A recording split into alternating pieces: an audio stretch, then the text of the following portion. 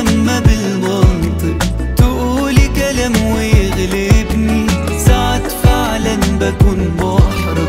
وإن ينسب ده منسوب لك. لكن فعلا بكون فرحان وبدعي العقل ده يدوم لك. جدير بالذكر تحية وشكر لوقفة حضرتك. جاي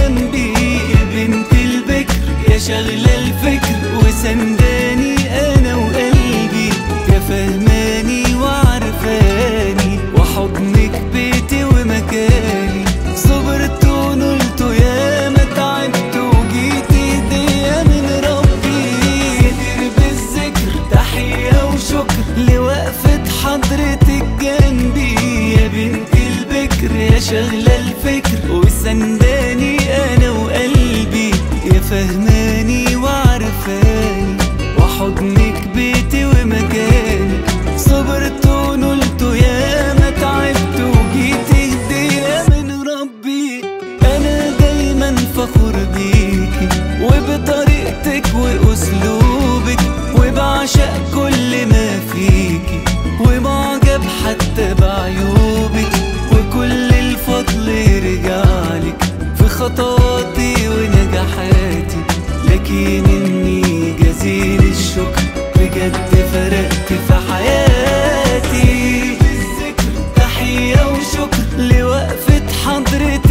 جنبي يا بنت البكر.